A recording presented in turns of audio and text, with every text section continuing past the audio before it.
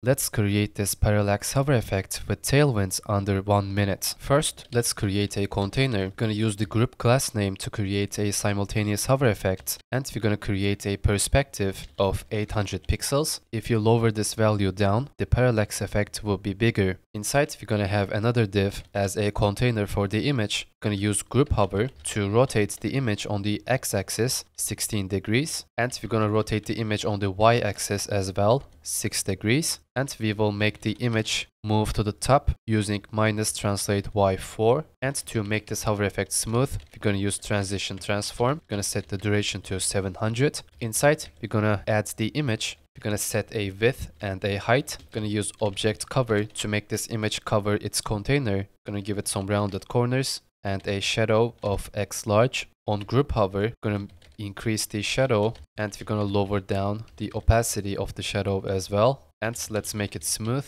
using transition shadow and we're going to set the duration to 700 let's see.